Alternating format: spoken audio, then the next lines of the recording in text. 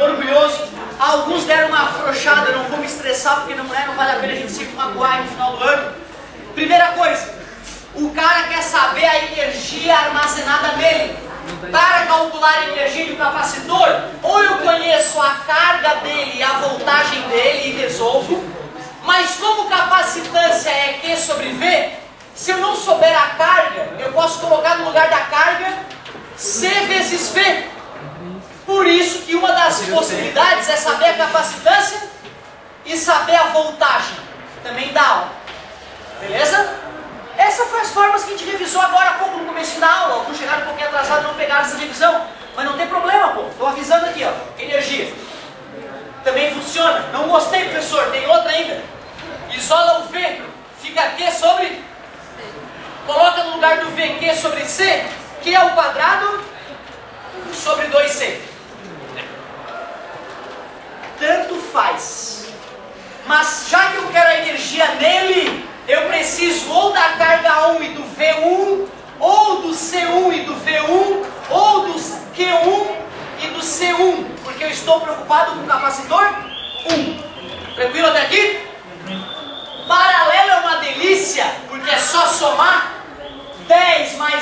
mais 10 microfarad dá tá? 30 microfarad. E 10 mais 10, 20 microfarad.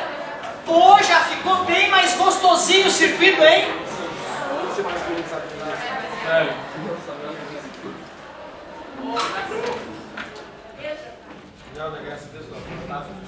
E aí, esse aqui, se tu somar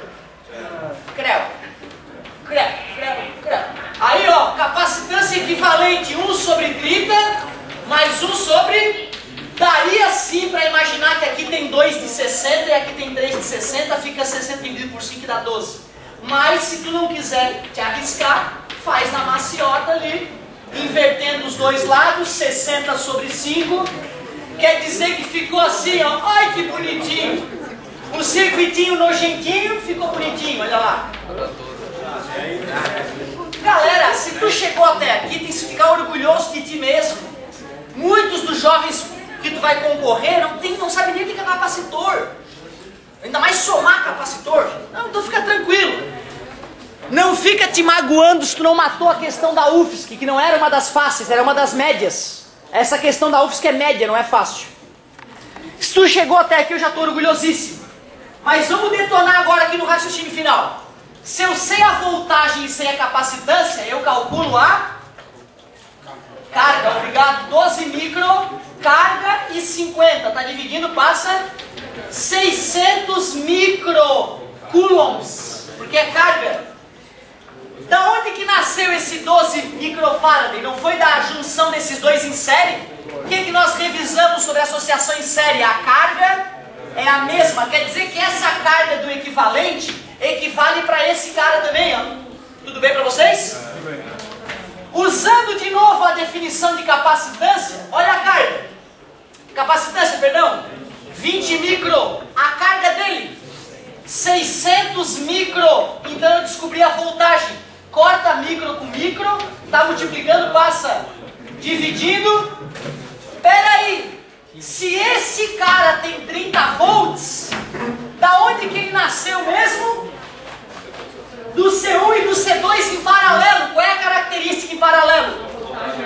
Voltagem é a mesma, quer dizer que aqueles 30 volts que eu calculei também serve para o capacitor C2 e C1. Eu estou preocupado com quem?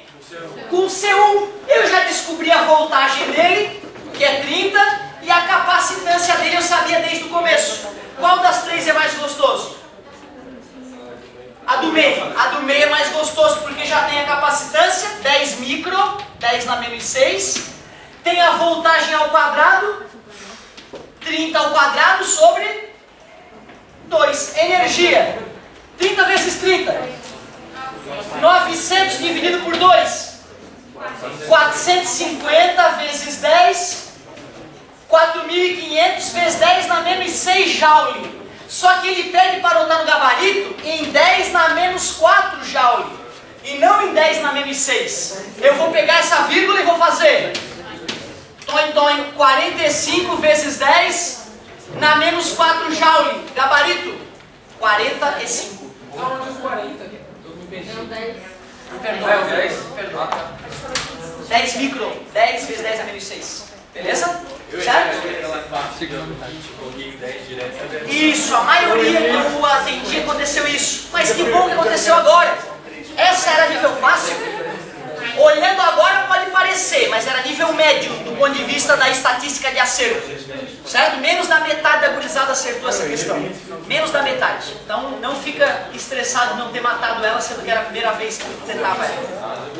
Fica à vontade. Agora a física E para fechar. Fala, meu querido. Não aprendi aí, a atividade tinha que estar no feito algo errado. Daí eu comecei a fazer da forma certa, daí eu comecei, aí tipo, eu decidi inverter. Aham. Daí mais